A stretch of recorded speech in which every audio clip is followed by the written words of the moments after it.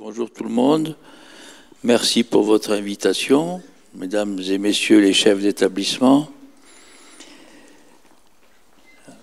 C'est vrai que vous avez bien fait de remercier la municipalité parce que la salle est magnifique.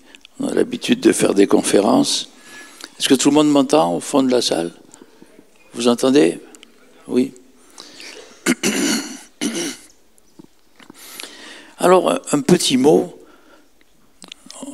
en introduction. Souvent, on me présente comme euh, chercheur spécialiste dans le domaine de l'évaluation des élèves. Bon, c'est un peu vrai, mais enfin, si, je devais indiquer les mots-clés associés à mes travaux de recherche, le premier mot qui me viendra à l'esprit, c'est pas évaluation, c'est plutôt lutte contre l'injustice, souvent liée au milieu social, la souffrance d'élèves en décrochage scolaire, et il sera aussi question d'évaluation. Pour illustrer ce que je viens de dire, ben, vous savez très bien que des articles sur l'évaluation des élèves, écrits par d'excellents chercheurs, il y en a beaucoup.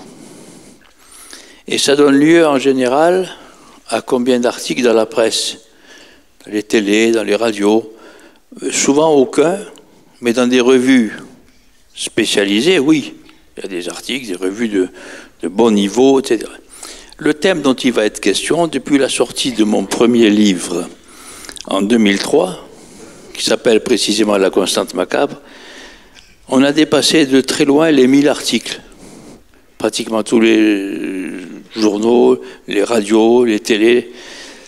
Et je ne dis pas ça pour me faire mousser, je dis ça pour bien montrer qu'il s'agit d'autre chose qu'un problème d'évaluation qu'un chercheur un de plus viendrait vous présenter. Dire voilà, j'ai trouvé ça, faites ça. Non, pas du tout. Il s'agit d'un vrai phénomène de société dont est victime notre pays. Et vous allez voir que je ne suis pas le seul à penser ce que je viens de vous dire.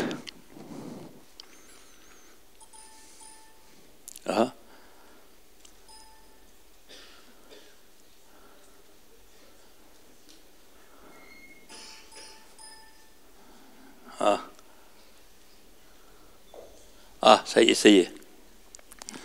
Vous savez, l'informatique, je ne vous apprends rien, c'est une méthode par approximation successive. On essaye un truc, quand ça marche, on est content.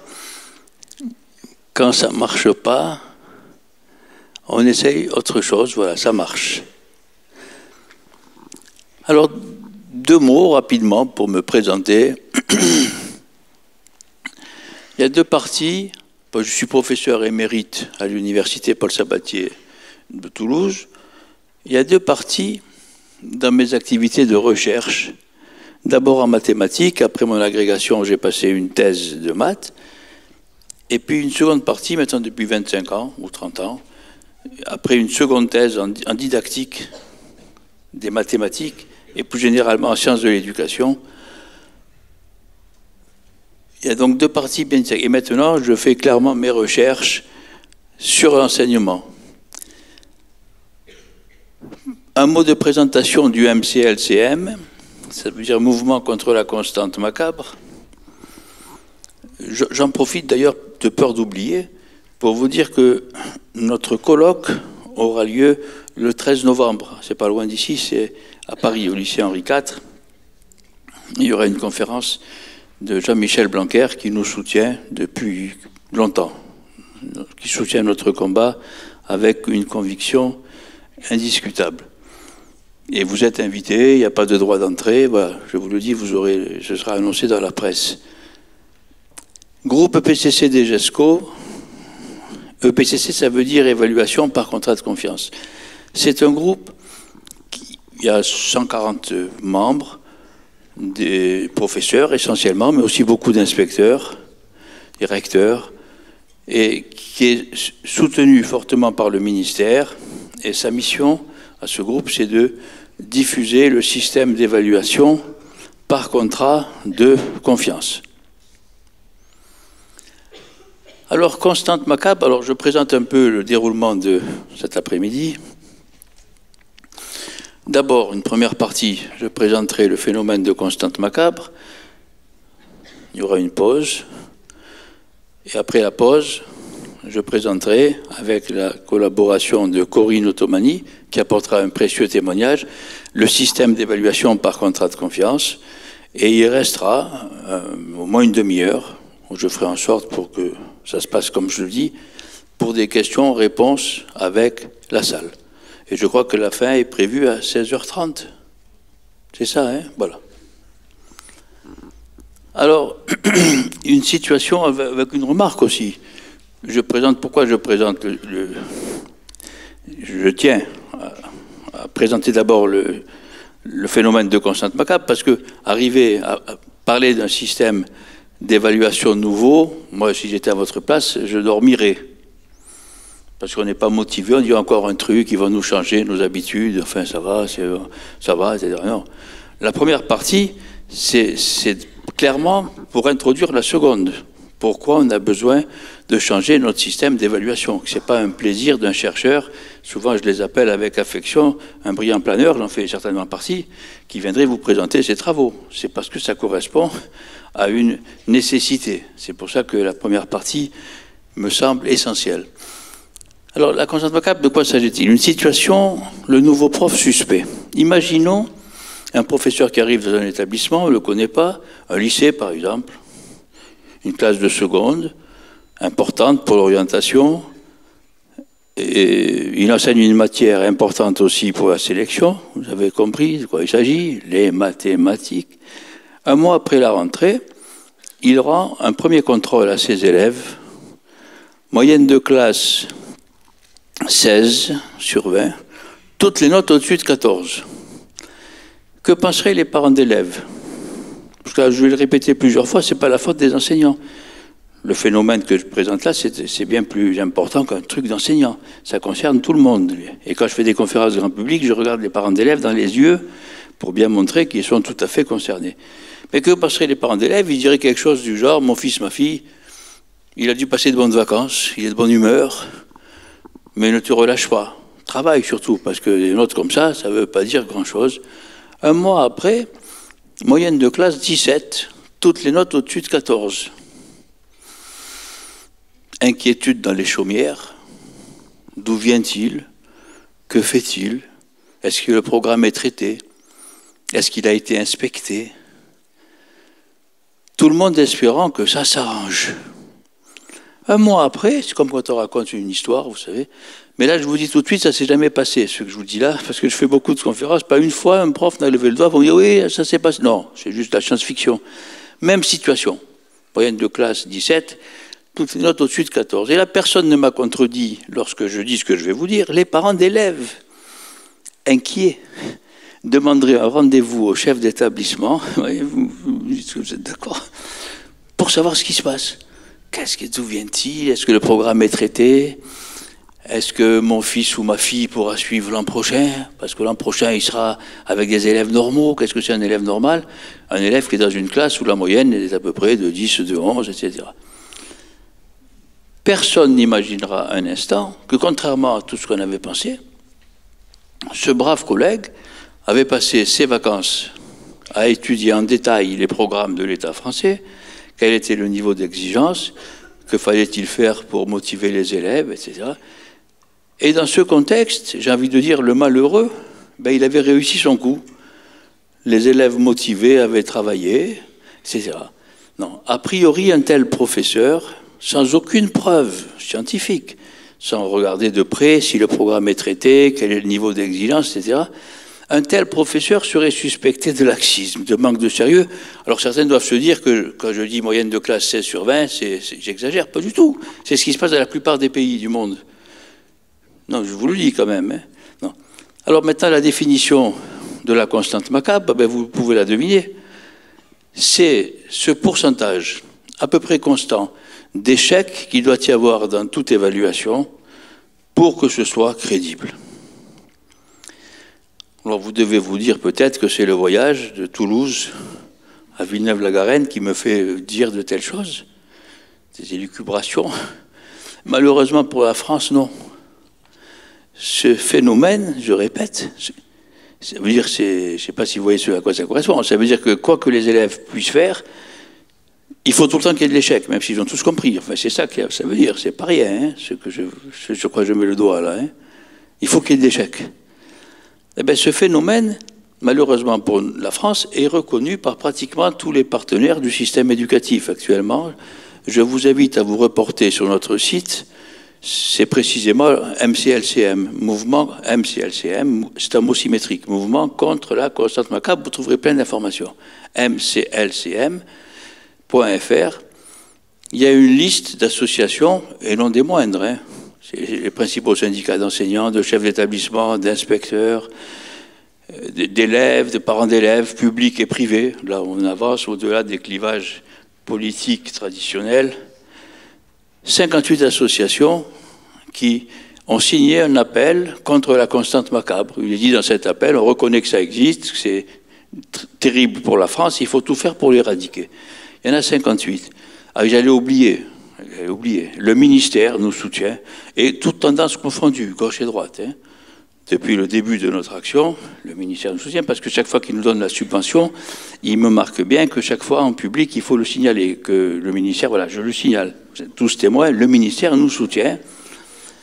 Et je laisse dans cet inventaire le plus important pour la fin, les enseignants eux-mêmes, parce que ça c'est le plus important. Que pensent les enseignants? J'ai fait une enquête qui m'a pris environ une année. Après mes conférences, si j'avais posé le questionnaire avant, ça n'aurait jamais donné les mêmes résultats. Après mes explications, auxquelles vous allez avoir droit euh, aujourd'hui, question posée, et je n'ai pris en compte que les réunions où les collègues étaient tenus d'assister. Parce que quand on vient de son plein gré, on peut penser déjà qu'on est acquis à la cause. Non, non. Donc c'est une enquête tout à fait sérieuse. Après mes explications, question posée, est-ce que la constante macabre existe? Vous savez combien d'enseignants? Sur 3020, dans 15 académies, combien d'enseignants répondent non? 1%. Et 3% disent je ne sais pas. C'est-à-dire que l'existence actuellement de ce phénomène ne fait aucun doute. Avec une parenthèse, est-ce qu'on est isolé dans le monde? Oui, mais pas tout à fait. Il y a quelques pays, les malheureux, qui suivent le, le modèle français dans le domaine de l'éducation, qui sont victimes aussi. Afrique francophone, même des fois c'est pire qu'en France. Ils sont victimes de ça. Belgique, Espagne, vous voyez, quelques pays. Mais sinon, on est isolé dans le monde. Alors,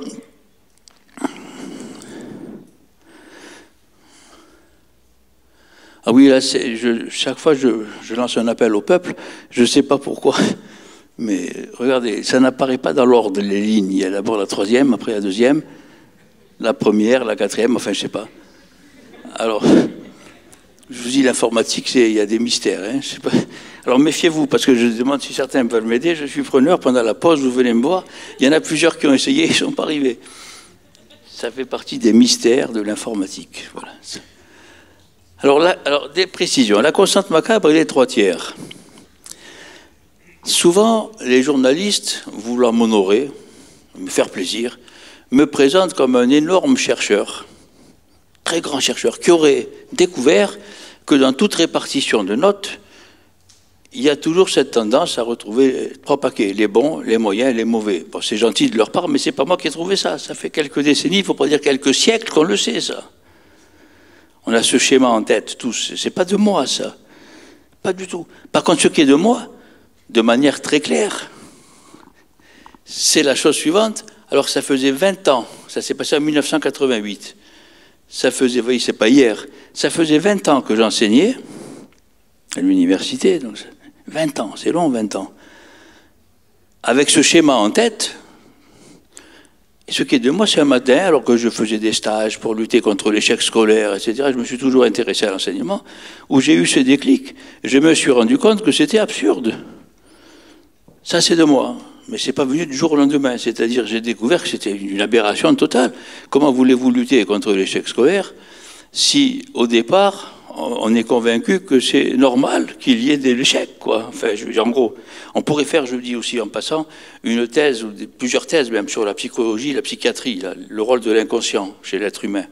Comment on peut faire des choses sans, se rendre compte que c'est aberrant? Ça, ça a été mon cas pendant 20 ans.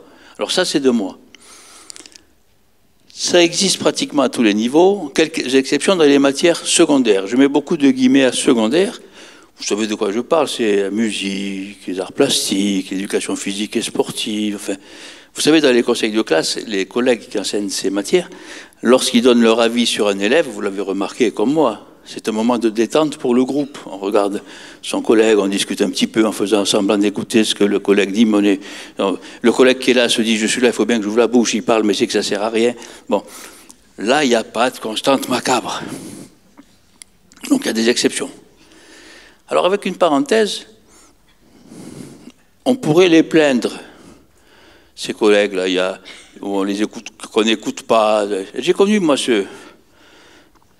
cette situation parce que j'ai fait deux ans dans l'enseignement secondaire. C'était pendant mon service national au lycée français de Montréal, Marie de France, pour ceux qui connaissent. J'enseignais donc les maths et dans les conseils de classe, quand j'ouvrais la bouche, avant d'émettre un son, tout le monde me regardait. Que va dire le prof de maths? Et puis après moi, le collègue de musique ou d'art plastique, c'est ce que je viens de décrire. Et puis au fond de moi, je me disais quand même, le pauvre, il n'a pas de pouvoir. Oui, je... Maintenant, avec recul, je me dis très clairement que c'est eux qui devraient nous plaindre. Si vous voulez savoir ce que signifie une situation d'enseignement hors esprit de compétition, de, classement, etc., allez voir ce qui se passe dans ces matières et ça nous ferait beaucoup de bien. J'ajoute d'ailleurs une chose, pour vous dire que personnellement, je ne les considère pas du tout comme secondaires, ces matières. Je l'ai même dit publiquement, j'étais invité au ministère il y a cinq ans, il y avait des journées sur la refondation de l'école, c'est écrit dans les actes. Hein. J'avais même dit, il y avait moins de 300 ou 400 personnes, j'aimerais qu'on me dise pourquoi jouer d'un instrument de musique, c'est moins formateur pour un jeune que de résoudre un exercice de maths. Surtout quand cet exercice ressemble à 25, ressemble à 25 qu'on a fait avant, vous savez. Personne ne m'a répondu, je vous le dis en passant quand même. Hein. Et je termine en disant que un moyen peut-être de lutter contre la constante macabre et contre ce décrochage scolaire, ce serait de revaloriser ces matières secondaires, parce que souvent on considère qu'un élève est en échec s'il est en échec dans, souvent c'est les maths et le français, appelons un chat un chat, on, on considère qu'il est en échec, même s'il est très bon en éducation physique ou en musique. Dans l'enseignement primaire aussi, je croyais que ça n'existait pas. Dans mon premier livre, je l'ai même écrit, qu'il y en avait très peu. Heureusement qu'il y avait le soin. Quand on fait de la recherche, on évolue. Dans mon second livre, je vais rectifier. Maintenant, je peux affirmer que dans l'enseignement primaire, non seulement elle existe, mais de manière encore plus sournoise et flagrante à la fois. C'est-à-dire dans la mesure où, vous le savez, dans 80% des cas, on ne met pas de notes, on met des appréciations acquis, non acquis en voie d'acquisition. Ce qui fait que les enseignants, c'est d'ailleurs ce qui m'avait induit en erreur, mais j'avais, quand on fait de la recherche, je répète, c'est normal qu'on évolue. On travaille, on étudie, etc. C'est certainement ça qui m'avait induit en erreur. Alors que, maintenant je peux affirmer, que les, collègues, on leur propose trois paquets, ils se sentent obligés, pour, bien évaluer, de mettre des élèves dans chaque paquet. Vous retrouvez vos, vos trois tiers. D'ailleurs, actuellement, il y a plus de 50 000 enseignants qui mettent le système d'évaluation par contrat de confiance en pratique, en France, bien plus de 50 000. Il y a plus de la moitié du primaire.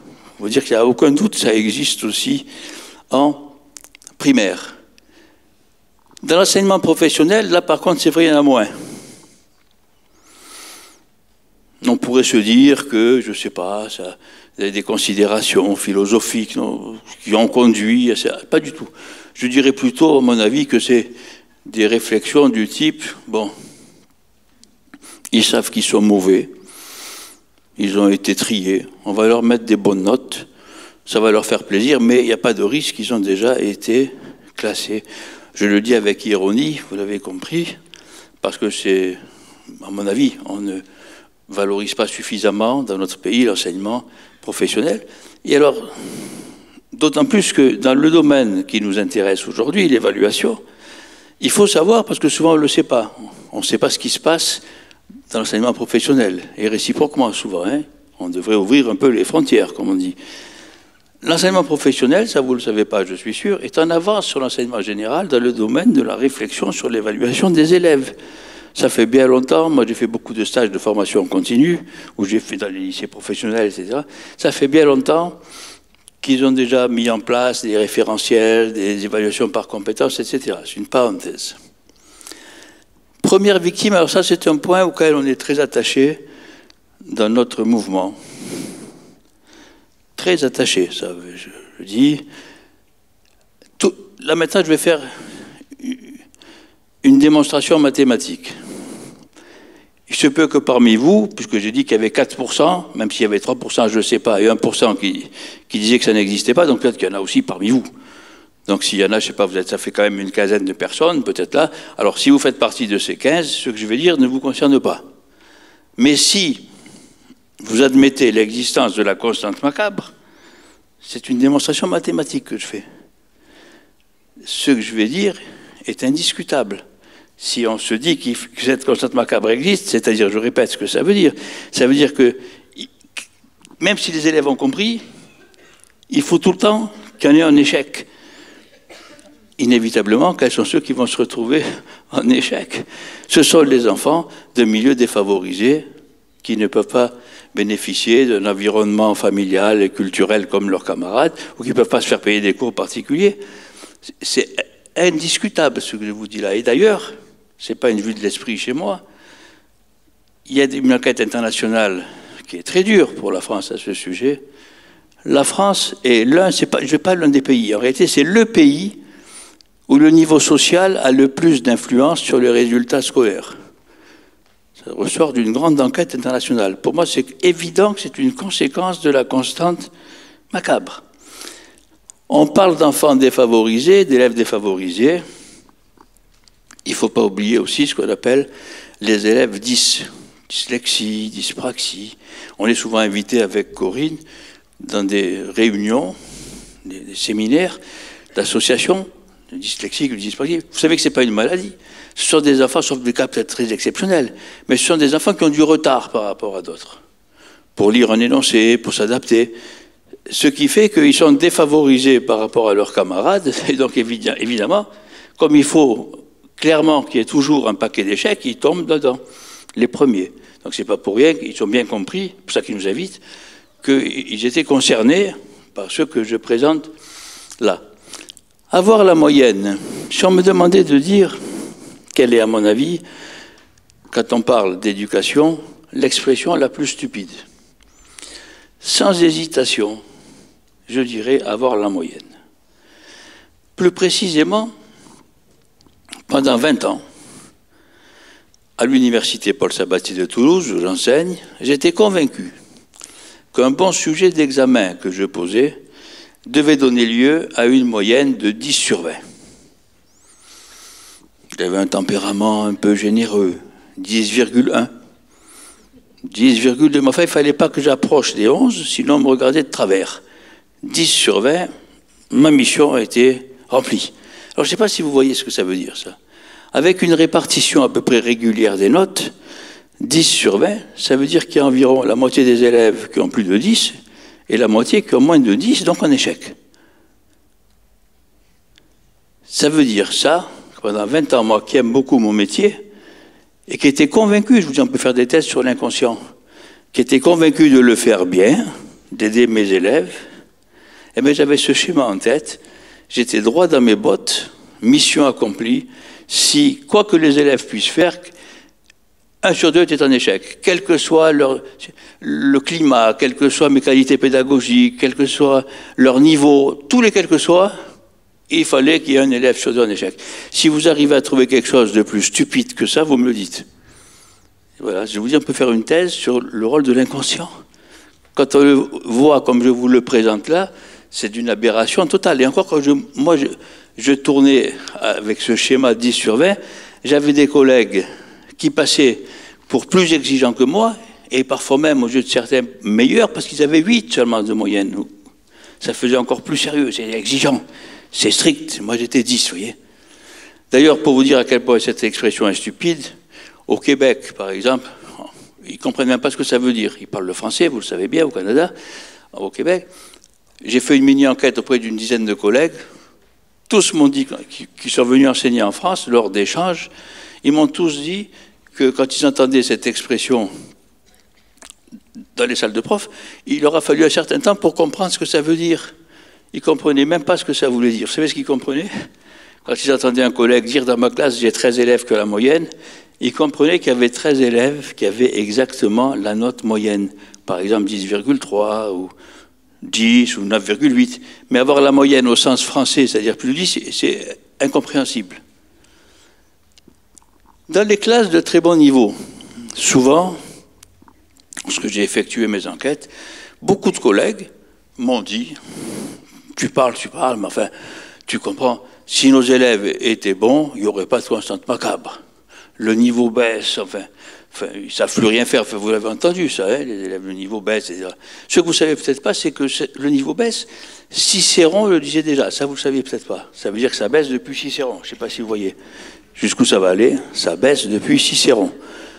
Alors là, je, vais égratigner au passage des collègues qui se disent chercheurs et qui n'arrêtent pas de critiquer le système éducatif français. Alors là, que ce soit clair, on va remettre notre mouvement, on n'est pas les seuls, on est de plus en plus nombreux, en question, dans un souci d'amélioration, la manière d'évaluer nos élèves, mais certainement pas le système éducatif français qui a des qualités indiscutables. Quand on le compare, je ne suis pas là pour faire une conférence là-dessus, à d'autres systèmes, alors que ce soit clair. Et alors, j'égratine ces collègues qui disent ça au passage parce que c'est pas vrai, le niveau ne baisse pas. Vous n'avez qu'à regarder les programmes actuels et les programmes d'il y a 50 ans. Vous allez voir qu'il y a beaucoup plus de choses actuellement qu'il y a 50 ans. Mais par contre, ce qui est vrai, c'est que les priorités évoluent. Par exemple, il est vrai qu'actuellement, les élèves sont moins bons en orthographe qu'il y a 50 ans. Ça, c'est vrai on est entre nous, les professeurs, c'est pareil. Moi, je suis un maniaque un peu de l'orthographe, j'ai fait du grec, du latin. quand j'ai fait, fait, mes enquêtes, mon objectif n'était pas de tester le niveau en orthographe de mes collègues, c'était de voir ce qui passait sur la constante macabre. Mais j'avais eu des fautes, et pas sur des mots compliqués. Ça veut dire que le niveau en orthographe de notre pays a baissé. C'est vrai. Mais ce qu'on oublie de dire, c'est que dans le même temps, le niveau dans d'autres domaines a augmenté. Initiation à l'informatique, par exemple, mais pas que ça. Donc le vrai problème à poser, c'est pas de dire à l'emporte-pièce, le niveau baisse, les élèves sont nuls, c'est faux, mais c'est de dire est-ce que les priorités qui ont été choisies dans l'enseignement sont les bonnes? Alors là, on peut discuter sérieusement. Par exemple, est-ce que c'est c'est bien d'avoir mis l'accent sur, sur l'initiation à l'informatique et de laisser de côté l'orthographe? Parce que ce qu'il faut comprendre, c'est que là, c'est une sorte de constante macabre aussi. Une journée n'a que 24 heures, et les élèves passent maximum 6 heures euh, les jours d'école, à l'école. Donc on ne peut pas tout faire. Si on veut mettre l'accent dans certains domaines, il faut, en mettre moins dans d'autres domaines. Ça, c'est une évidence. Par exemple, moi qui suis prof de maths, je m'en souviens encore, quand j'étais au collège, on nous apprenait, ça va surprendre les jeunes là, on nous apprenait à extraire les racines carrées à la main. Vous savez, comment on fait une division, mais on prenait un nombre, je ne sais pas, 1858, et on était capable d'extraire la racine carrée à la main. Heureusement pour ma cervelle, je ne sais plus le faire. Il fallait multiplier à un moment donné par deux, enfin je ne sais pas quoi, je ne sais plus le faire. On passait un certain temps pour faire ça. Maintenant, si on me disait, est-ce que c'est normal qu'on on fasse plus ça, qu'on appuie sur une touche d'une calculatrice, mais à la place, pour faire une initiation à l'informatique, euh, à la bureautique, ben, je dirais oui, c'est normal. Donc je répète, les priorités ont évolué, mais ne pas tout mélanger, sous prétexte que dans un domaine, le niveau a baissé, pour dire que le système éducatif n'est pas bon. Alors maintenant que je me suis défoulé, je reviens aux classes de très bon niveau. Parlons-en des classes de très bon niveau. Certains collègues qui me disent si les élèves étaient bons. Je vais vous présenter une situation qui entre dans le cadre de mes travaux, de ce que j'appelle la didactique de la chair. Qu'est-ce que c'est la didactique de la chair C'est ce que l'on apprend par l'intermédiaire de ses enfants. Plus précisément, on est professeur, on est parent d'élèves, on suit la scolarité de ses enfants, puis il arrive un moment où ils ont des difficultés. On découvre plein de choses. C'est plus efficace que n'importe quel traité de pédagogie au monde, ce que l'on apprend par l'intermédiaire de ses enfants. Ça vous souriez parce que vous vous retrouvez là. En voici un exemple. Ma grande fille, il y a 25 ans, elle était en classe prépa HEC, classe préparatoire aux études commerciales. Évidemment, quel bac avait-elle passé? Bac S, spécialité maths. C'est évident pour tout le monde que pour faire du commerce, il faut savoir tracer des ellipses. Enfin, vous en êtes convaincu Elle avait passé donc ça. Élève très bonne, très belle mention au bac, belles études, etc.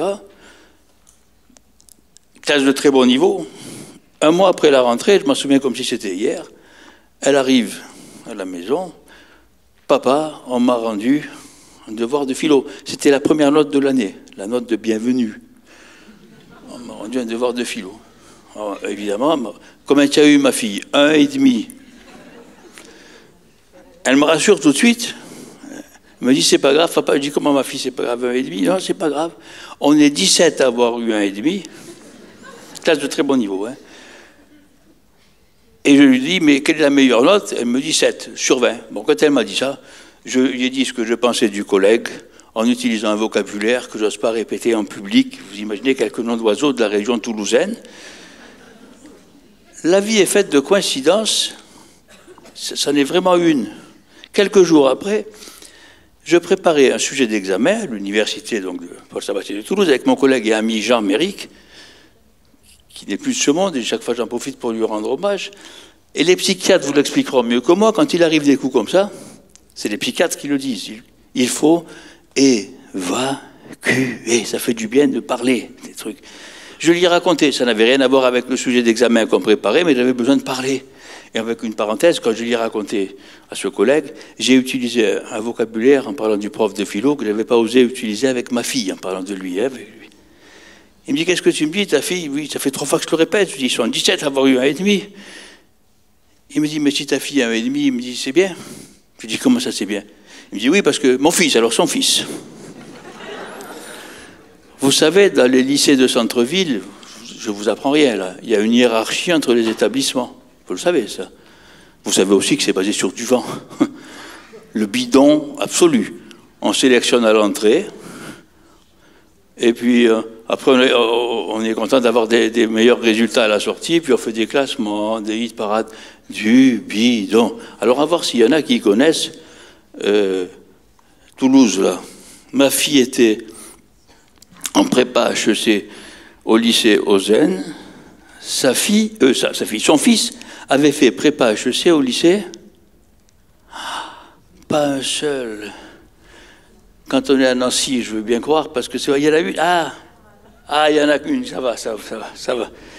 C'est bien. Au lycée Fermat, au lycée Fermat qui est un peu plus côté que le lycée Et quand il me racontait ça de son fils, son fils était entré à l'école HEC dans les meilleurs, une grosse tête. Il me dit, mon fils, quand il était à Fermat, au lycée Fermat, en prépa HEC, en philo, pendant six mois, il a eu des notes négatives. Bon, alors quand il me dit ça, ma première réaction, je lui ai dit, mais il est tombé carrément sur un fou. Il me dit, non, non, non, non, non, je crois que ça existe, la didactique de la chair. Moi, avec une parenthèse, je défends mes collègues de maths. Là. Moi, ça ne me serait pas venu à l'idée, en maths, de mettre une note négative. Mais j'ai appris ça à cette occasion. Mais vraiment, c'est tout à fait sincère ce que je vous dis là. J'ai appris, je ne savais pas. Alors j'ai fait une enquête pour savoir si ça existait, etc. Parce qu'il m'a dit, oui, oui, je crois que ça existe. Et qu'est-ce que je découvre dans mon enquête? Que dans le tout Paris, anormal, sup, etc., mais on met des notes négatives.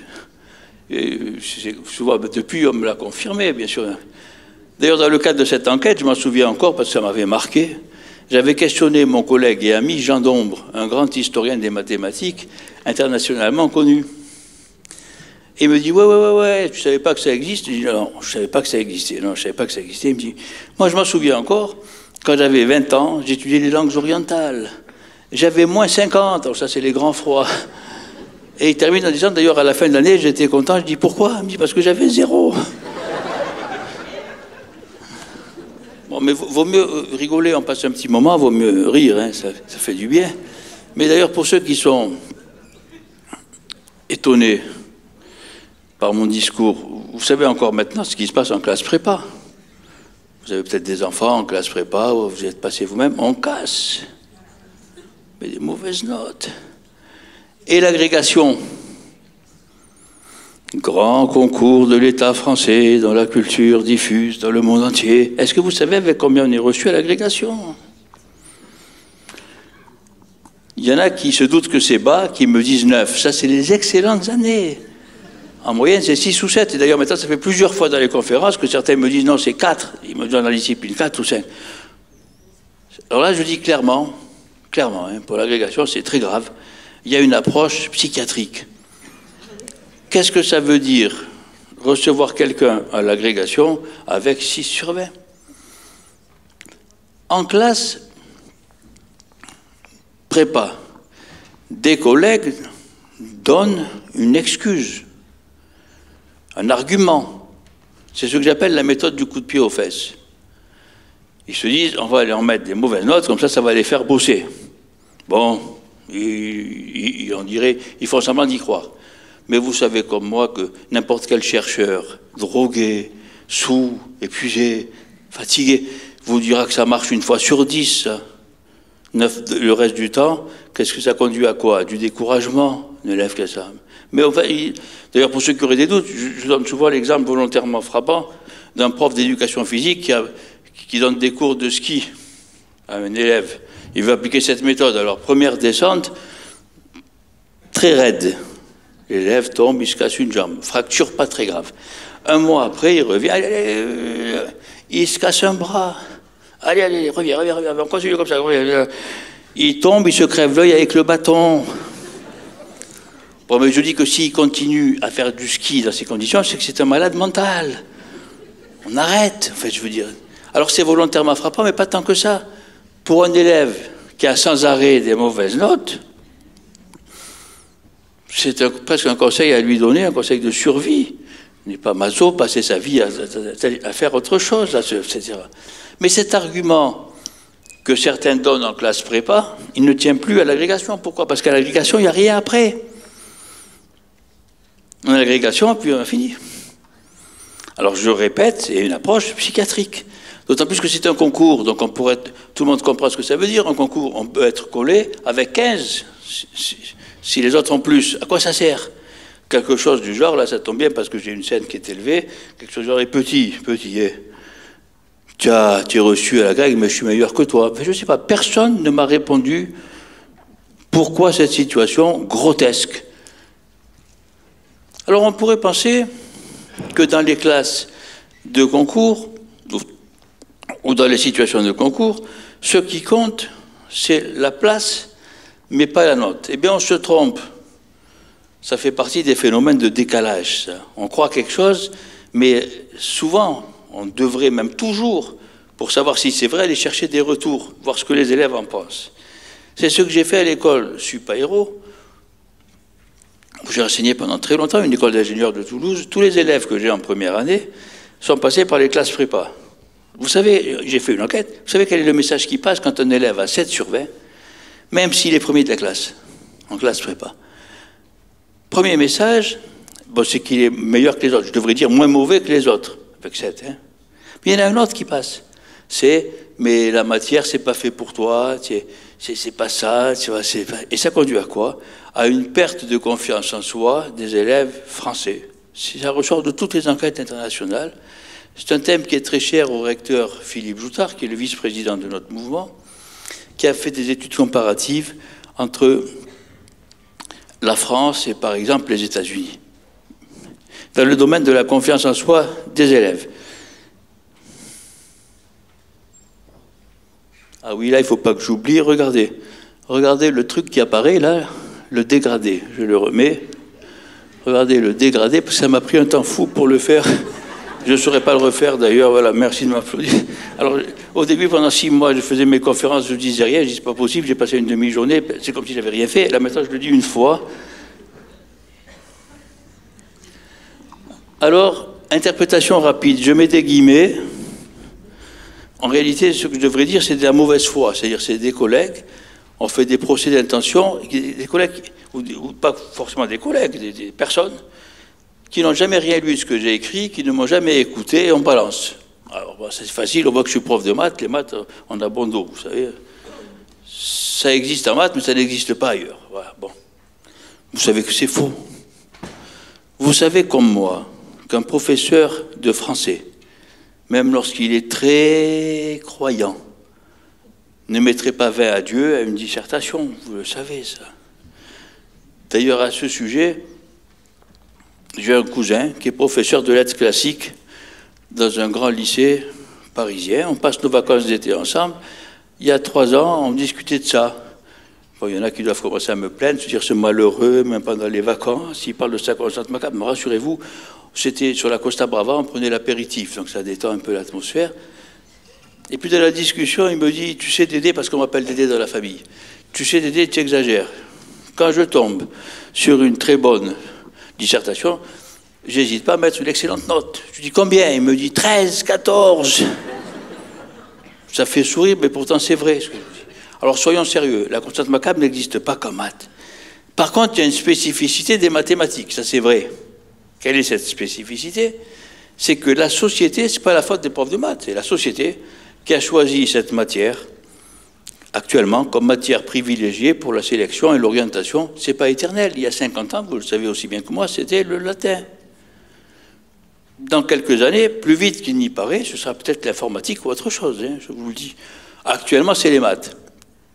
Ce qui fait que quand la constante macabre se manifeste en maths, on la remarque plus qu'ailleurs. Ça, c'est vrai. Suppression des notes. Ça s'appelait aux médias, il y a encore trois ans, hein, on n'a parlé que de ça ou deux ans, quand il y a eu la conférence nationale sur l'évaluation. J'ai plein d'articles dans la presse, notes ou pas notes, notes ou pas notes, etc. Je vais commencer par un témoignage qui m'avait marqué. C'était dans une émission de télé. Je devais répondre en direct aux questions des téléspectateurs. Ça devait durer trois quarts d'heure, l'émission. Je ne sais pas si vous savez comment ça se passe quand on répond en direct aux questions les, téléspectateurs qui posent leurs questions n'écoutent pas l'invité. Ça, je l'ai appris sur le tas, comme on dit. Bon, ça, je ne savais pas. Alors j'arrive, charmante présentatrice, voilà, on va parler de ça. Première question, je ne suis pas d'accord avec André Antibi. Moi, je suis pour le maintien des notes. Alors moi, je réponds euh, gentiment, je dis c'est original parce que vous n'êtes pas d'accord avec moi, mais je suis d'accord avec vous. Je ne suis pas du tout pour la suppression des notes. Seconde question, qui n'avait pas écouté ce que je venais de dire. Alors c'était plus agressif, enfin, non, non, non, c'est du laxisme, il faut pas supprimer les notes. Et moi, je répète pareil, comme je viens de le dire, mais il ne m'avait pas écouté, comme je viens de le dire, etc. Toute l'émission, c'était ça. La présentatrice avait bien réussi son truc, moi, je ne savais pas. Elle avait axé toute l'émission sur note ou pas note.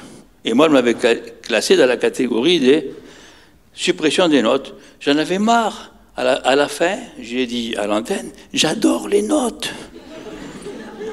C'était une émission, j'avais répété 20 fois les mêmes choses, vous voyez, il répondait. Alors je le répète ici. Ça, c'est un point très important, très important de cet après-midi. La constante macabre, malheureusement pour la France, n'est pas un problème de notation. C'est un problème bien plus profond de culture de l'évaluation. C'est-à-dire, et je ne dis pas au hasard ce que je vais vous dire là, on ne mettrait ni notes, ni lettres, ni smiley, ni feu rouge, ni feu vert, vous savez tout ce qu'on met là, comme ça, On ne mettrait que des morceaux de phrases. Avec la mentalité actuelle, on s'arrangerait toujours pour avoir un certain nombre de mauvaises appréciations pour être crédible. Alors si je dis ça, pour quelle raison je dis ça? C'est parce qu'il y a un danger. Si on fait croire qu'en supprimant les notes, on va résoudre le problème, ben, on est à côté de la plaque. On ne l'a pas résolu. Le problème est ailleurs. Alors cela étant, moi je suis d'accord avec la position de la ministre précédente et du ministre actuel parce qu'il y, a eu une évolution, et je crois que notre mouvement a joué un rôle hein, pour faire évoluer les choses. Actuellement, qu'on évalue par compétence, par note, chacun le fait comme il le sent. Ce qui est insupportable, on y reviendra certainement dans, le débat, en parlant des compétences, c'est qu'il y a eu un vent de folie qui a soufflé sur notre pays, j'appelle ça les brillants planeurs, où on a proposé aux enseignants, vous avez connu ça, une cinquantaine, une centaine d'items. Ils devaient mettre des croix dans les trucs, etc. C'est une mascarade, c'est honteux. à cette époque-là, moi, j'étais fou, de rage. J'avais fait une enquête, j'avais questionné des collègues, et je me souviens d'une collègue, c'était d'un certain âge, qui m'avait dit, vous savez, monsieur Antivi, moi, avec ces trucs de compétences, maintenant, je mets toujours les croix dans, dans la colonne du milieu. C'est là que j'ai le moins de risque de me tromper, non Arrêtons de se moquer des enseignants comme ça, quoi, clairement. Mais maintenant, la position qui est adoptée, et j'espère qu'on la maintiendra, elle est plus sage, c'est-à-dire qu'on a diminué sensiblement le nombre d'items. Et puis moi je dis les compétences, si un professeur est capable de les évaluer, mais pas comme un, comme un robot pour mettre des croix n'importe où, mais pourquoi pas? Mais le problème n'est pas là. D'ailleurs, on peut mettre à la fois des notes et des compétences. Je le dis, le problème n'est pas là. On peut mettre euh, plusieurs notes et après, ça fait partie d'une même compétence, etc. Hein, que ce soit bien clair. Aucune barrière dans les études. Il y a des collègues qui, prennent peur, là, lorsque j'ai effectué mon enquête, qui disent, c'est pas possible, si on supprime la constante macabre, tout le monde va pouvoir être prof, pilote de ligne, chirurgien. Alors, je rassure. J'adore autre chose. C'est les concours professionnels en France. Pour être professeur, il faut passer un concours. concours il est normal qu'un pays régule ses flux professionnels. Ne croyez pas que ça existe dans tous les pays, ça. Hein. Aux États-Unis, ça n'existe pas. Je préfère la France. Ils font tout sur dossier. Nous, ça nous semble incroyable, mais là-bas, ils font tout sur dossier. Alors, je préfère la France parce que qui dit dossier dit piston, dit argent, de quel endroit tu viens, etc. Je préfère la France. Mais, dans ce cas, qui dit concours, c'est une situation transparente. On sait qu'il y a un nombre de places limité, on est reçu ou on est collé.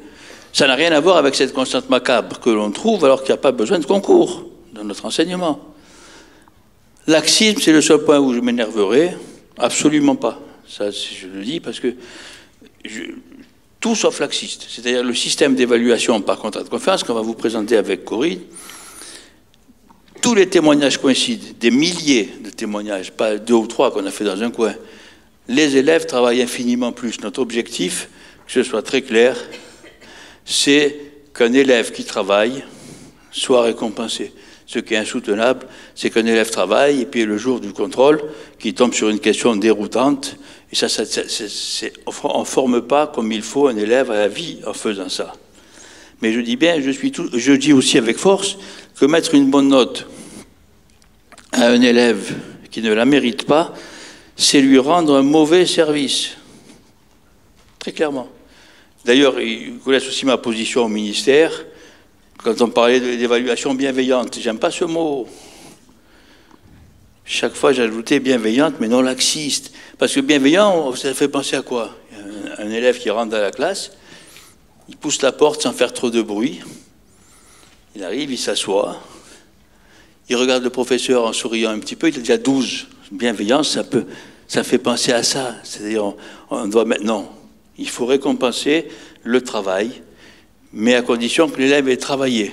La valeur travail, on y croit beaucoup dans notre mouvement. Conséquence de la constante macabre.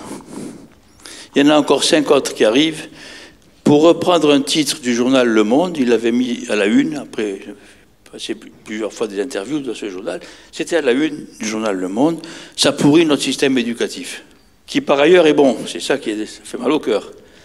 C'est pour ça qu'il faut améliorer l'évaluation, il sera excellent. Alors, lutte contre l'échec scolaire, j'en ai déjà parlé.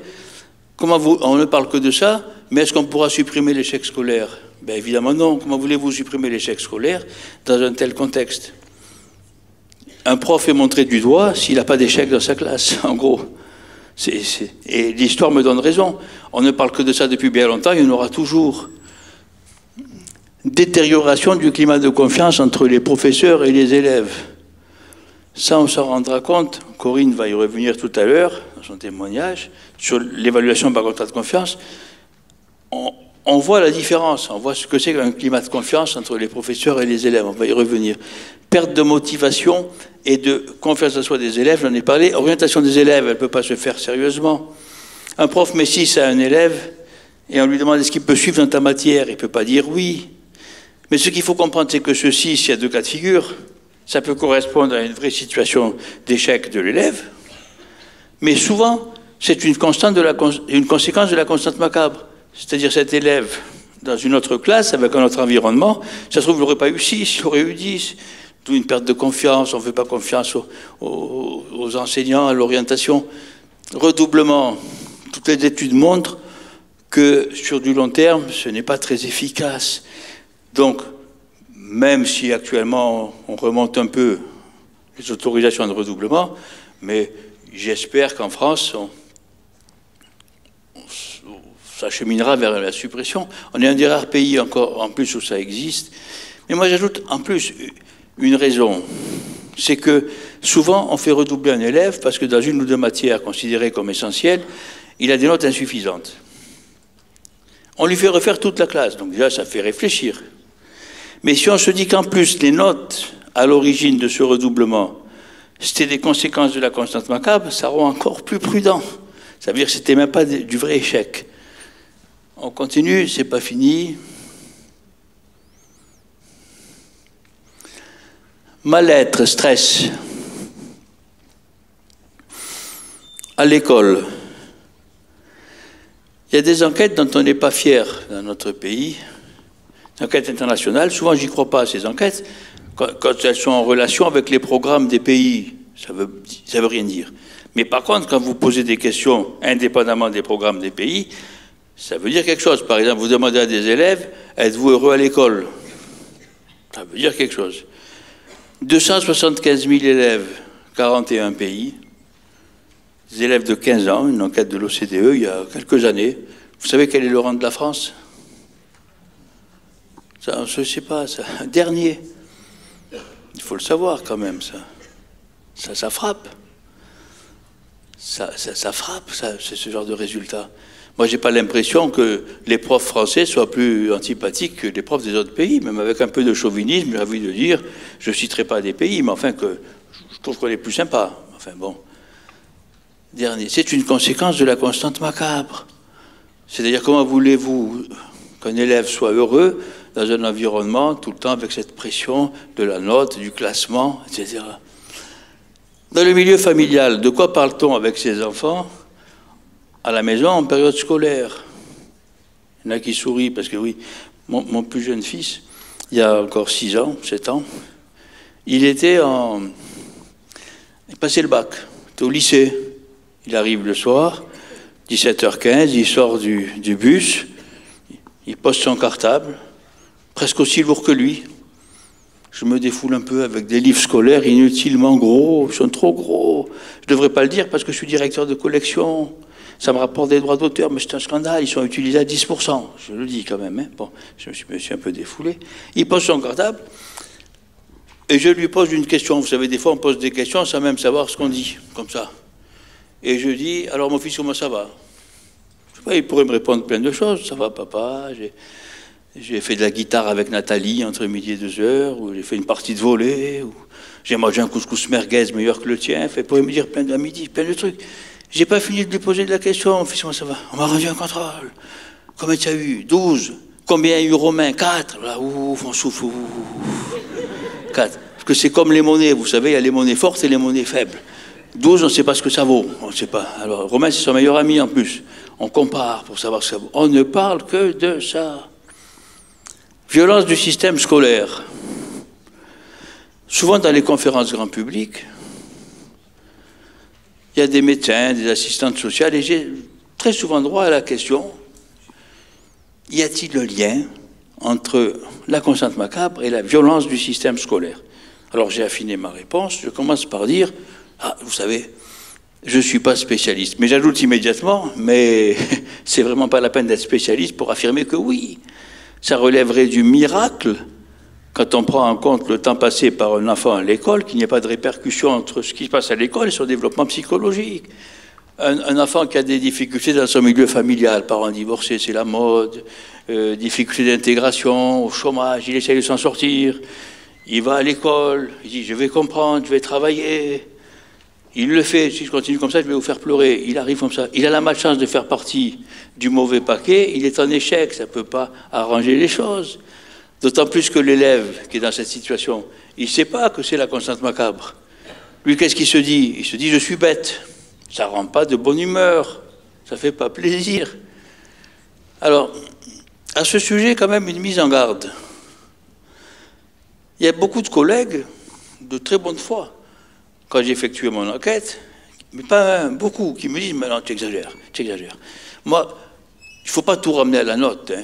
c'est pas violent. Moi, je ne suis pas violent, me disent-ils. Moi, quand je leur rends une copie avec 3 sur 20, je leur fais bien comprendre que c'est la feuille, la feuille blanche qui a trois, c'est pas quelque chose du genre, mais tu sais, tu es, bien, tu chantes bien, tu, joues bien au volet, tu joues bien. Ça s'appelle, ce qu'il appelle mettre une mauvaise note gentiment.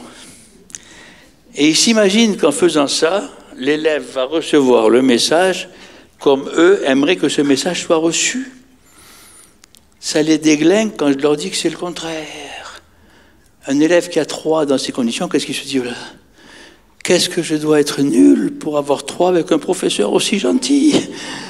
À la limite, il préférait avoir trois avec un professeur désagréable, ce salaud, cette salope, il m'aime pas, c'est pour ça qu'il m'aime. Non, non, non. J'ai fait tout ce que j'ai pu, ce que j'ai pu, je suis arrivé à, trois, j'ai fait tout ce que j'ai pu.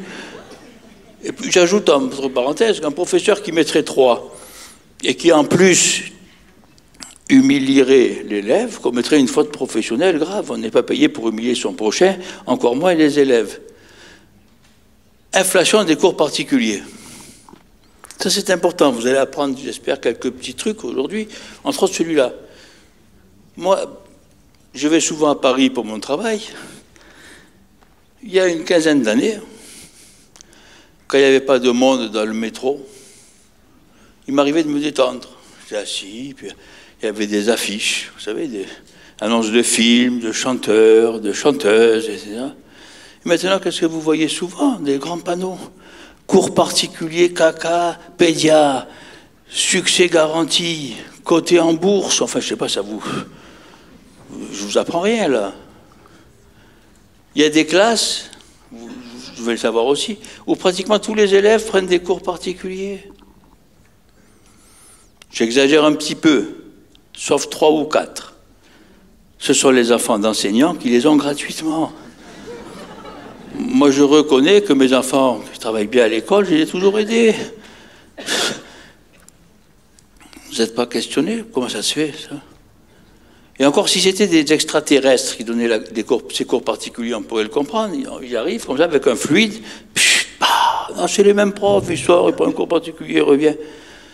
Vous allez avoir une explication y avoir une explication un peu isolée dans le monde. Hein. D'autres pays, sauf les pays, je répète, l'Afrique francophone, etc., dont j'ai parlé tout à l'heure. Hein. L'explication, je vous la donne. En classe de concours, est-ce qu'on peut le comprendre, ça? On prenne des cours particuliers comme ça. Mais oui, parce que qui dit concours dit il ne suffit pas de connaître les capacités exigibles, les compétences exigibles, il faut être meilleur que les autres. Donc tous les moyens sont bons. Alors on prend des cours particuliers, on essaye de faire plus. Pourquoi retrouve-t-on cette situation alors qu'officiellement, il n'y a pas de concours? Ben, Vous allez avoir une réponse. Parce qu'officiellement, il n'y a pas de concours, mais officieusement, il y en a un, qui est une conséquence de la constante macabre. Plus précisément, c'est dans la tête de tout le monde, des élèves, de leurs parents, des professeurs, de tout le monde, qu'il y aura toujours de l'échec dans une classe. C'est la constante macabre. Quoi que les élèves puissent faire, c'est la constante macabre dans toute son horreur. Ben, c'est comme s'il y avait un concours.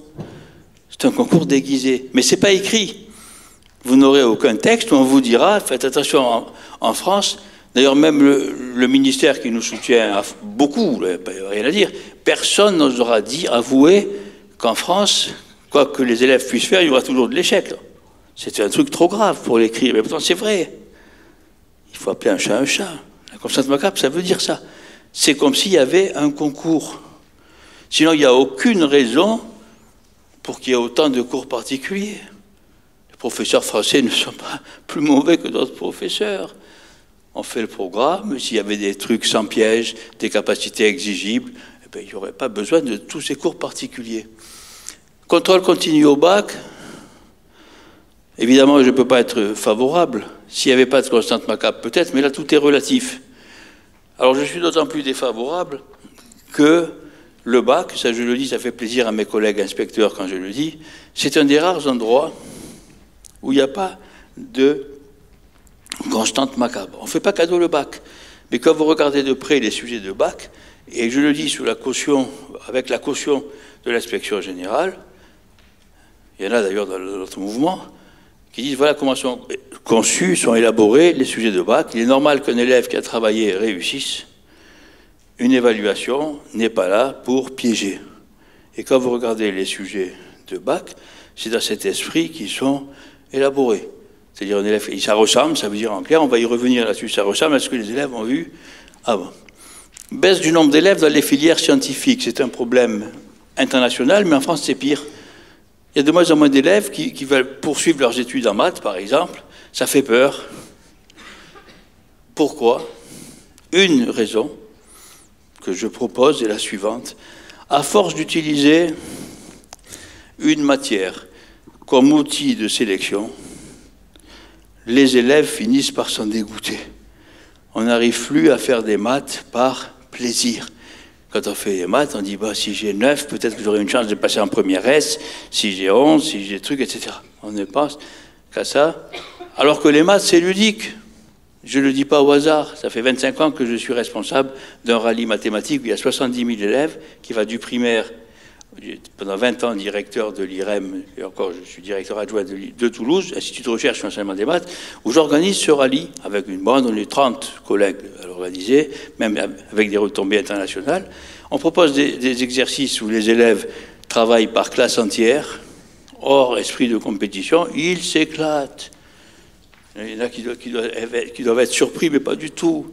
Les maths, c'est ludique. Mais là, on a écœuré, à force d'utiliser ça comme outil de sélection. Alors ça, c'est un thème qui est très cher, qui était très cher à un grand homme s'il en est, que j'ai eu l'honneur et le plaisir de rencontrer, c'est le ministre Hubert Curien, qui n'est plus de ce monde, à qui je rends un vibrant hommage. C'est le premier préfacier de mon premier livre, et j'ai tenu à le remettre dans le livre suivant, avec l'accord, à titre posthume, l'accord et les remerciements de son épouse. Il y a un extrait en haut de notre site, c'est le ministre Hubert Curien. Je vous lis. La collusion trop fréquente entre formation et sélection, stigmatisée par André Antibi, cause de réels ravages. Alors maintenant, un phénomène inconscient, pourquoi? Je regarde mon collègue, hein, on en a parlé tout à l'heure, là. C'est de ça dont je vous ai parlé tout à l'heure, pendant le repas. Et je dis que de toutes les diapos, pour des enseignants que nous sommes, j'ai envie de dire la plus importante, c'est celle-là. Celle-là que je vous présente. On n'est pas tous idiots. Moi, je me suis livré, je vous ai dit pendant 20 ans, je ne m'en suis pas rendu compte. Comment se fait-il qu'on ne se rende pas compte alors que maintenant qu'on met le doigt dessus, je vous dis, il y a 58 associations, pratiquement tous les partenaires qui reconnaissent, comment ça se fait qu'on ne l'ait pas vu? Eh bien, vous allez avoir des éléments de réponse. Je propose trois raisons. Comment ça se fait qu'on ne se rend pas compte? Moi, le premier, quand même, 20 ans, c'est long. Hein en plus, je m'intéressais à des problèmes d'enseignement. Je ne peux pas dire que je faisais ma recherche en maths dans mon coin. Non, pas du tout. Je suis toujours intéressé à l'enseignement, avec des stages de formation continue. Comment se fait-il? Première euh, explication, la tradition. Alors méfiez-vous, la tradition, c'est un mot qui, peut faire penser au café du commerce. Par tradition, je joue le 13 au tiercé chaque dimanche. C'est beaucoup plus profond que ça. Qu'est-ce que c'est la tradition? Une définition simple. Le temps s'écoule, quelque chose existe. L'être humain n'aime pas sortir des normes. Quand on sort des normes, on est mal à l'aise on, continue à faire pareil. C'est la tradition. La constante macabre a toujours existé, mais on continue. Sans se poser de questions, on continue. Alors là, valise à roulettes, certains doivent se dire qu'est-ce qui va nous sortir? Vous prenez le train, l'avion, qu'est-ce que vous avez remarqué sous les valises? Vous allez voir la tradition, un exemple. Des roulettes, petites roulettes. Combien de décennies a-t-il fallu attendre pour qu'on se décide à mettre des roulettes sous une valise? Est-ce que c'est pour des raisons politiques, Mitterrand, Chirac? Pas du tout. Parce que par tradition, on continue à faire. On estimait que des roues, ça se met sous une voiture, derrière des chevaux, éventuellement même sous un chariot sur lequel on pourra mettre une valise, mais pas sous une valise. La tradition, on a continué comme ça. Puis ça a changé, heureusement. Maintenant, on a tous nos valises à roulettes. Alors maintenant, dans cette diapo, le point le plus important, c'est le second. C'est le second. Confusion entre phase d'évaluation et phase d'apprentissage. Je vais dire juste un petit mot du troisième, ce sera réglé, mais parce que je vais en avoir besoin pour le second. C'est la, courbe de Gauss. Gauss a remarqué, je le dis rapidement, mais vous le savez, c'est que quand il y a un phénomène naturel et qu'on prend un grand nombre de mesures, on a toujours cette tendance à retrouver une courbe de Gauss. Phénomène naturel, c'est-à-dire les tailles, les poids, des diamètres de troncs d'arbres, d'une espèce donnée, etc. Courbe de Gauss. Un phénomène naturel. Donc ça, c'est normal. Alors j'en viens au point 2 qui est le plus important. Dans mes travaux, ce que j'appelle phase d'évaluation, c'est une évaluation qui donne droit, lieu à une note. Parce qu'il y a des évaluations sans note, une évaluation diagnostique, formative. On évalue, mais n'est pas sans être obligé de mettre une note. Mais moi, je dis évaluation, c'est une note. Tout le reste, c'est phase d'apprentissage. Alors, je vais vous poser une question. Quand vous présentez une nouvelle notion à vos élèves, est-ce que tout le monde comprend à la même vitesse? Si certains me disent oui, c'est que, je sais pas, j'ai des doutes si ils ont eu des élèves. Évidemment, non. Dans une des difficultés de notre métier, l'hétérogénéité des classes, il y a des élèves qui comprennent au quart de tour, d'autres qui comprennent presque tout, mais pas tout, d'autres encore moins, et d'autres pas du tout. Et on est obligé de faire avec et d'avancer. C'est une difficulté de notre métier. C'est-à-dire que, en termes de vitesse d'acquisition d'une notion, c'est associé au QI, si vous voulez. C'est un phénomène naturel, ça, vitesse d'acquisition. Eh bien là, c'est normal que vous ayez ces trois tiers. Partie d'un cas de courbe de Gauss, un phénomène naturel. La vitesse d'acquisition, tout le monde ne comprend pas la même vitesse. Il faut s'adapter à chaque, chaque cervelle. Eh bien, moi, ce dont je suis persuadé, c'est pour ça que je dis c'est le point le plus important. Pourquoi on ne s'en rend pas compte? C'est que, inconsciemment, c'est ce qui m'est arrivé pendant 20 ans, je veux dire par là que cette image de trois tiers, de trois paquets, il sort de quelque part, il sort de là. C'est-à-dire qu'en phase d'apprentissage, c'est clair que c'est normal, vous les avez, ces trois paquets. Ceux qui comprennent au quart de tour, ceux qui comprennent presque tout, etc., vous les retrouvez. C'est un phénomène naturel, la vitesse d'acquisition d'une notion. Et on fait en sorte, quand on, pose nos sujets de contrôle et qu'on corrige, on va le voir dans la diapo suivante, de retrouver ce schéma, parce qu'on croit, on croit que c'est normal, alors qu'en situation d'évaluation, c'est complètement différent. Il se peut qu'un élève n'ait pas compris à la fin de, l'heure, mais que par son travail, travail qu'il peut faire soit chez lui, soit même en classe, si le professeur l'aide après, etc., par son travail, dans le primaire, ça peut être le cas, si vous ne donnez pas de travail à la maison, il arrive à comprendre, mais plus tard, etc. Et donc, si on posait nos sujets d'évaluation de manière claire, c'est un des objectifs de l'évaluation par contrat de confiance, sans piéger, de manière très claire, tu dois savoir faire ça, voilà, tu dois faire, etc. On va y revenir. Il n'y a aucune raison pour qu'un élève qui a eu des difficultés pendant la phase en classe ne s'en sorte pas le jour de l'évaluation. Pour me résumer, ces trois tiers, c'est normal qu'ils existent en phase d'apprentissage, en phase d'évaluation, pas normal du tout. Si on posait, je répète, si on évaluait l'aptitude d'un élève à avoir acquis, à savoir restituer les, les, notions qui lui ont été enseignées, si on était clair. Seulement on fait en sorte, et moi le premier pendant 20 ans, ce sera l'objet de la diapo qui suit, on fait en sorte, dans la manière de poser ces sujets, on s'arrange pour retrouver cette répartition, alors que ça n'a rien à voir. Ça, c'est un point très important, hein, celui que je vous dis là, parce que sinon on serait tous idiots, c'est pas possible. D'où ils sortent ces trucs là Pourquoi Qu'est-ce qui nous prend de faire ça? Ils sortent de quelque part, c'est d'où je vous dis. Alors maintenant, justement, ça va répondre à ce que je vous dis là. Les dix trucs, c'est quoi? C'est justement ce dont je viens de parler, c'est-à-dire, je me suis posé la question, mais finalement, les profs, c'est pas leur faute, je le pense vraiment. Hein, ça, j'ai passé l'âge de raconter des trucs pour passer de la pommade. On le fait inconsciemment.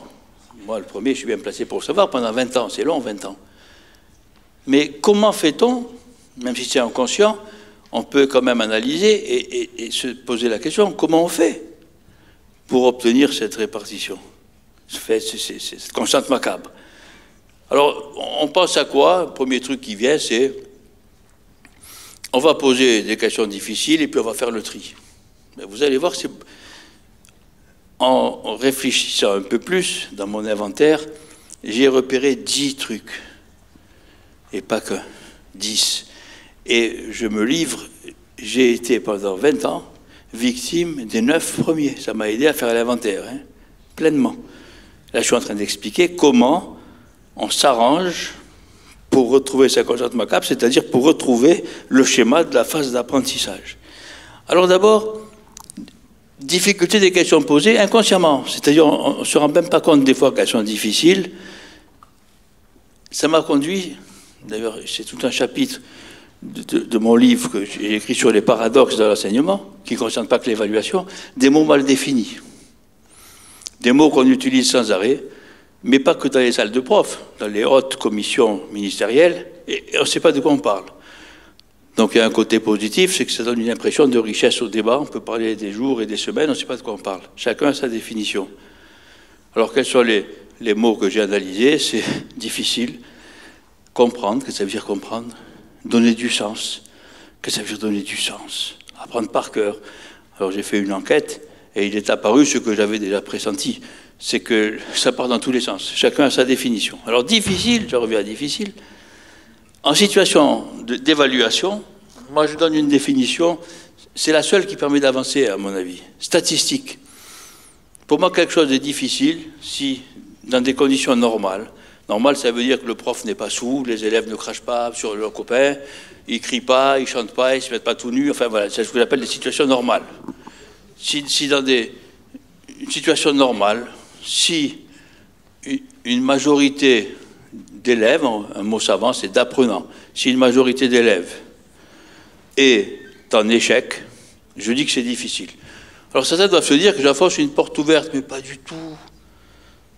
Je connais euh, la mentalité des collègues de l'université, mais aussi du secondaire, parce qu'à l'IREM, je ne sais pas si vous savez, Institut de recherche sur l'enseignement des maths, j'ai travaillé toute ma carrière là. On travaille avec des professeurs de collège et du primaire, dans des groupes, donc je connais les mentalités. Mais il y a beaucoup de collègues qui vous diront, ils posent un contrôle, ils ont 7 sur 20 de moyenne et qui vous diront, c'était pourtant très facile. Non, méfiez-vous.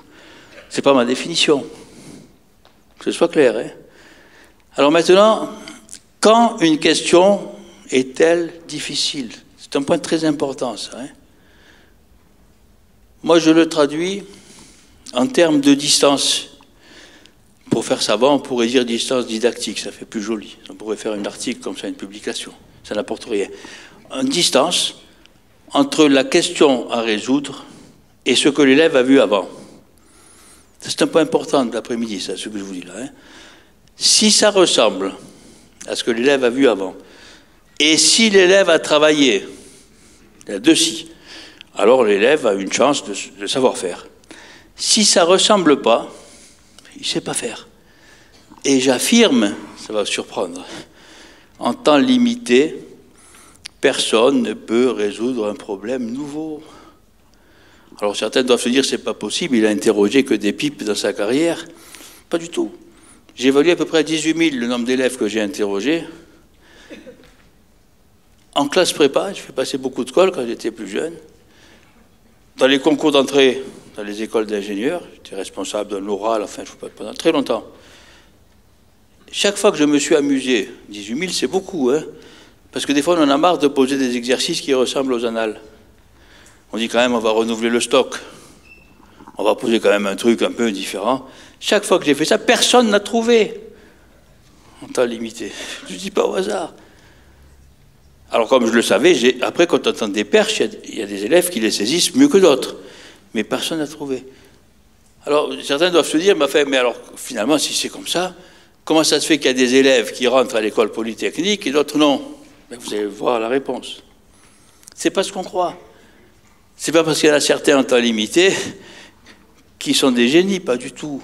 La différence est la suivante, c'est qu'il y a certains élèves qui sont capables de mémoriser 7, 8 livres d'annales, plus les exercices de leur prof, sans s'embrouiller. Ça veut dire que pour mémoriser, il faut comprendre, sinon la cervelle éclate. Et qui, en plus, en temps limité, sont capables de faire le lien, faire la connexion entre l'exercice qu'ils ont à résoudre et un truc qu'ils ont vu. Et dans le même temps, d'autres élèves, moins doués, au bout d'un demi-livre d'annales, ils mélangent tout. La différence, elle est là. D'ailleurs, quand vous discutez, je ne dis pas au hasard ça, avec ceux qui rentrent à Polytechnique, à Normal Sup, etc., ils vous le diront. C'est-à-dire qu'ils grappillent, mais intelligemment. C'est-à-dire ils font toutes les questions qu'ils savent faire, comme ça qu'ils vont faire les connexions. Et c'est comme ça qu'on arrive à s'en sortir, que ce soit bien clair là-dessus. La question cadeau, qu'est-ce que c'est la question cadeau? En France, si un professeur, quand il élabore un sujet, en vous répétant que je suis victime des neuf premiers, donc de celui-là, etc., hein, à fond, si un professeur est convaincu que tous les élèves, sans exception, je dis bien tous, répondront à une question, il ne la pose pas. C'est comme si elle servait à rien, c'est comme si c'était ridicule, cela, ben, etc. Alors, euh, une parenthèse à ce sujet. Les Américains, je vais d'abord vous poser une question, ne vous croyez pas obligé de répondre. Est-ce qu'à votre avis, un Américain moyen est plus intelligent qu'un Français moyen? Ne répondez pas. Regardons la réponse pour soi. Alors, comment ça se fait qu'aux États-Unis, question que je me suis posée, la moyenne là-bas, c'est tout le temps 16, facilement, ou 15 sur 20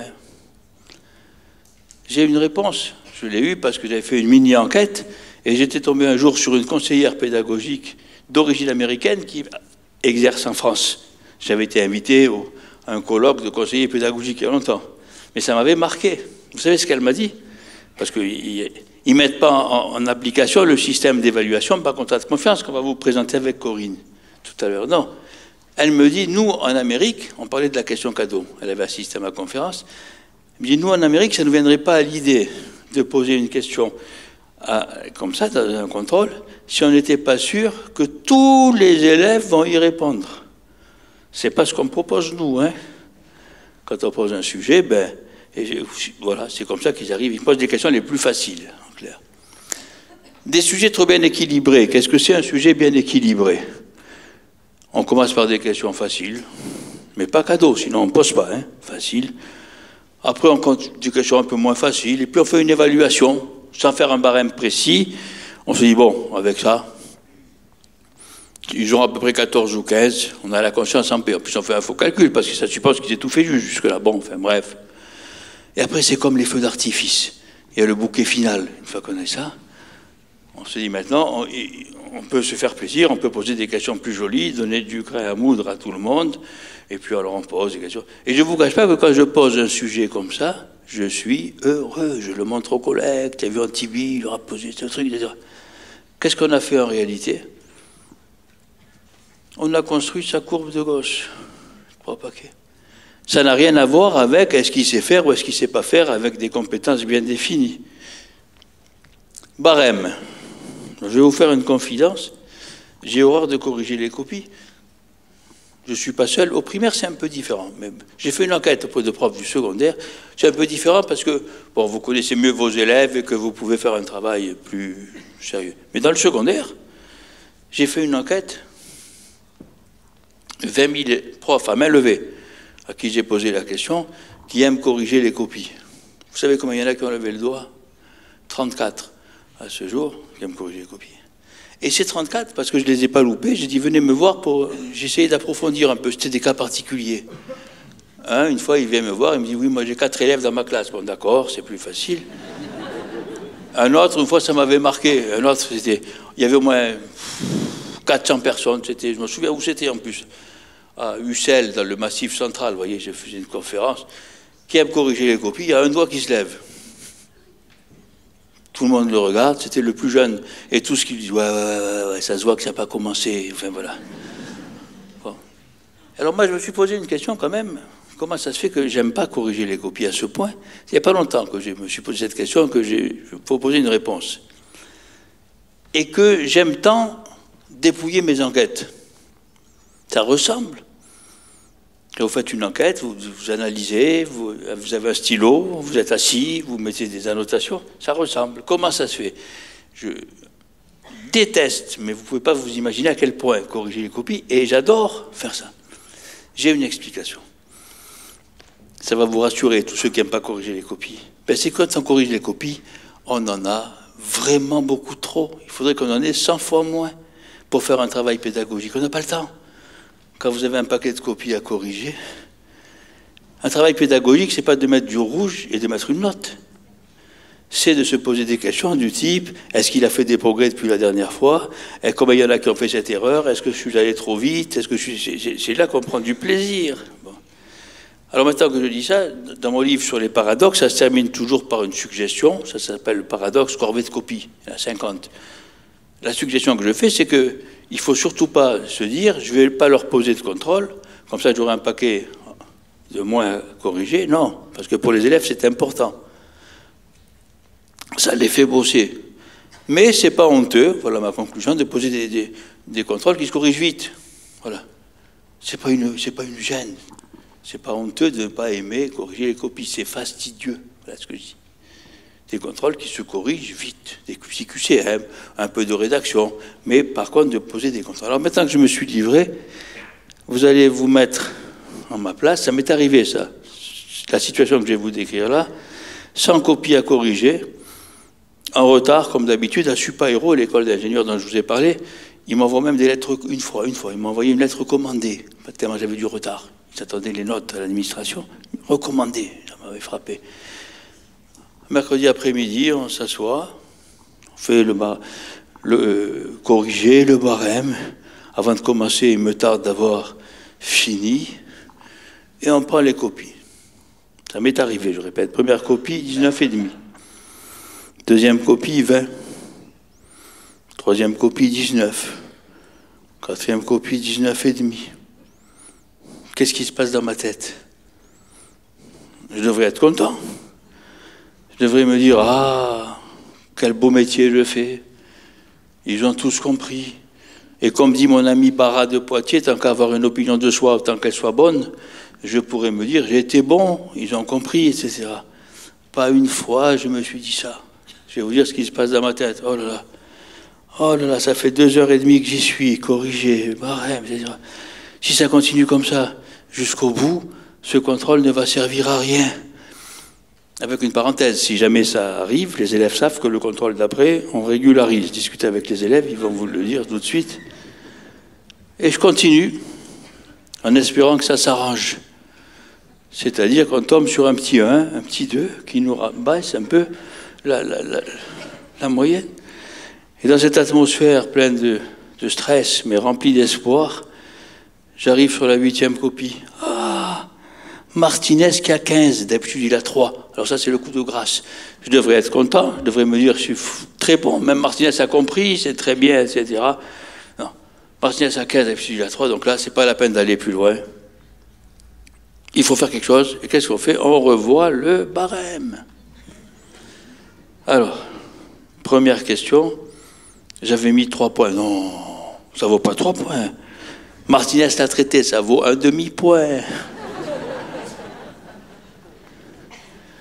Je laisse quelques points de côté pour laisser le temps pour la discussion, mais ils sont intéressants, ceux que je laisse de côté, mais enfin, avec un tableau. Si on a le temps, j'y reviendrai.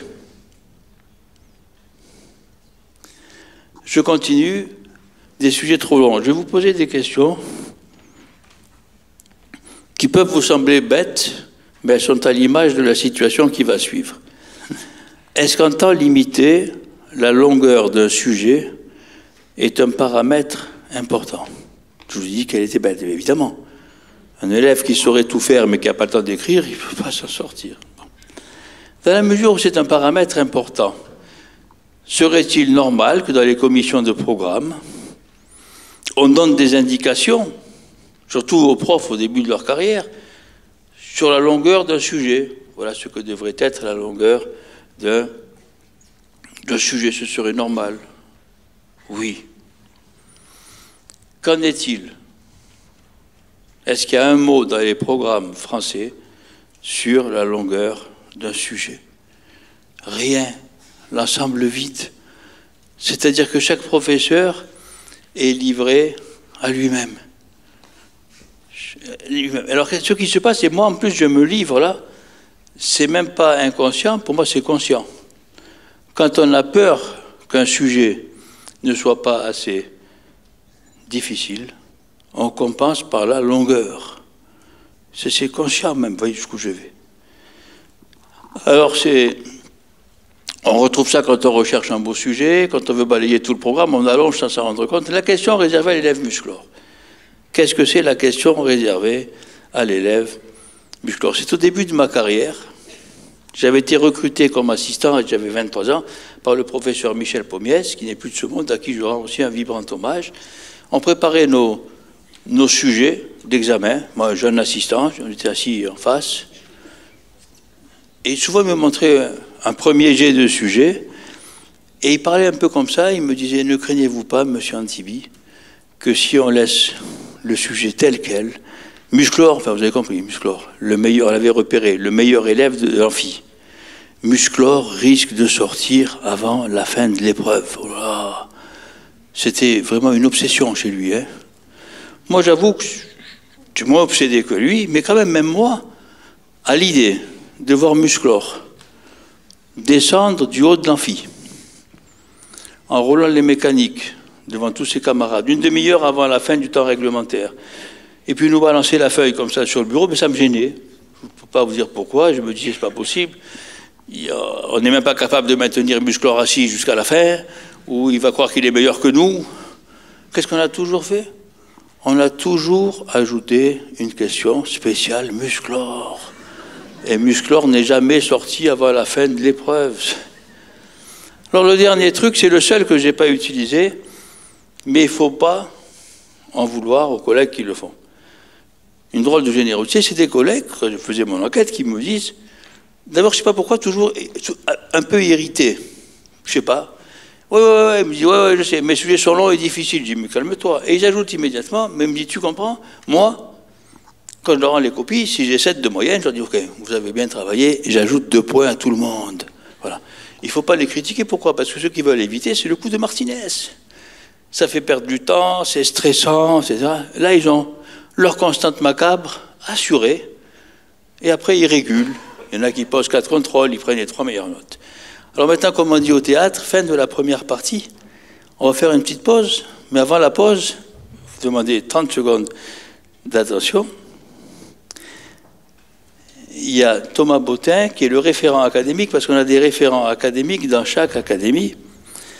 C'est le référent académique qui va, juste pour, le présenter, pour la mise en place de l'EPCC, alors sur votre demande, vous, vous donnera ses coordonnées, vous les avez sur le site, etc. Il passe dans des établissements pour prolonger, je dis bien pour prolonger la conférence à laquelle vous allez avoir droit, moi, si vous dire de petits mots Bonjour à tous, je ne vais pas rester euh, très longtemps. Euh, euh, cet après-midi, vous l'aurez vu, je suis en, fonction de papa, donc je vais repartir immédiatement. Le pauvre, il a déjà entendu plein de fois et il m'entend souvent.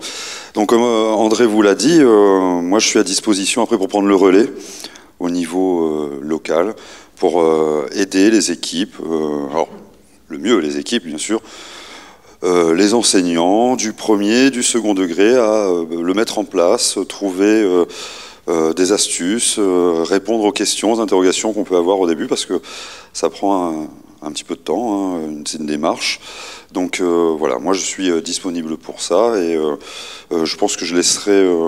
alors Thomas Botin, vous m'avez sur le mail académique, hein, de toute façon, donc BO de TIN, et puis sur le site. que ce soit clair, hein, vous avez compris, pour mettre en place, c'est pas mettre en place la constante macabre, c'est pour mettre en place le système d'évaluation par contrat de confiance, parce qu'on n'en a pas encore parlé, c'est pour ah, ça. Excusez-moi, oui, je prie en cours, oui. Pour l'évaluation, effectivement, par contrat de confiance. C'est vrai que je n'ai pas, pas su vous en dire encore. Euh, donc voilà, donc c'est à disposition. C'est vraiment en plus avec plaisir que je vais dire nous nous déplaçons puisque nous sommes une équipe euh, pour l'instant essentiellement euh, localisée dans le Val d'Oise, mais qu'on n'est pas très loin, on est voisins, donc n'hésitez pas et on viendra bien volontiers à la demande des enseignants, à la demande des chefs d'établissement, à la demande des inspecteurs, ainsi de suite et ainsi de suite. Voilà. Merci beaucoup. Merci Thomas. Alors pendant la pause, ceux qui veulent, on amène quelques livres dans une valise à roulettes. Si vous voulez des dédicaces, je suis à votre disposition pendant la pause. Alors une pause à peu près de 10 minutes, un quart d'heure. Merci pour votre attention. À tout de suite. Et donc je suis à votre disposition pour les livres.